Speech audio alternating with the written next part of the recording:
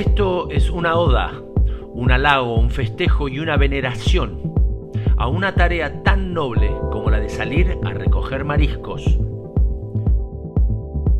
Un aplauso para los mariscadores, mujeres y hombres, ese eslabón tan importante entre la naturaleza que nos provee y los apasionados como nosotros que los consumimos.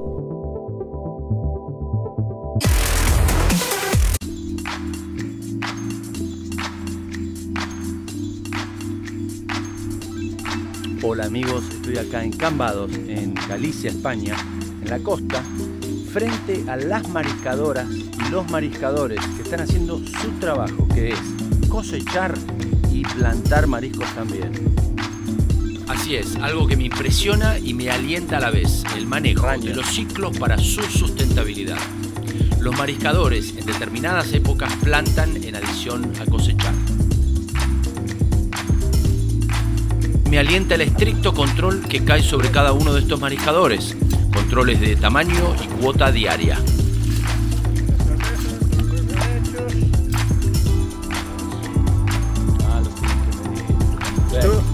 Va, por medidas. Muy bien. Y topes. No podemos eh, mariscar lo que queramos. En este caso, 5 de japónica y medio de berbicho y dos de navaja. Eso, lo que se llama el toque. Manuel, nuestro amigo mariscador, dijo algo muy lindo. Los frutos del mar y la tierra se unen en la mesa, haciendo alusión a la abundancia y cuán integrados están los ingredientes aquí en Galicia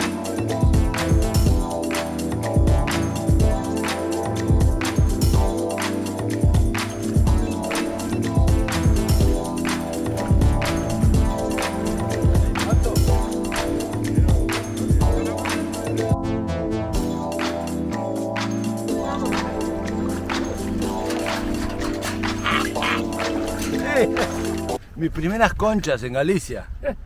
Muy bien. Un hecho muy bueno. El resto, nada. ¿Cuánto me saqué del 1 al 10? Bueno, un 5 y medio. Y como si fuera poco y un claro ejemplo de la garra gallega, aquí estas mariscadoras, luego de cumplir su cuota y tope, se van a vendimiar. Llevamos eh, la japónica, la, la almeja, no llevamos ni el berberecho ni la navaja.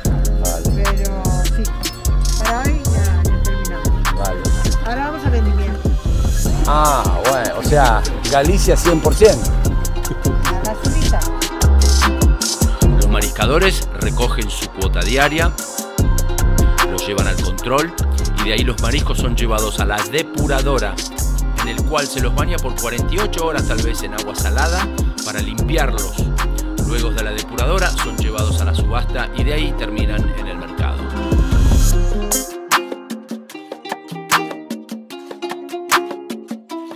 Ahora, cada vez que te comas esa concha, te vas a acordar del esfuerzo que lleva y el trabajo detrás de esta venerable tarea que perdurará por siempre.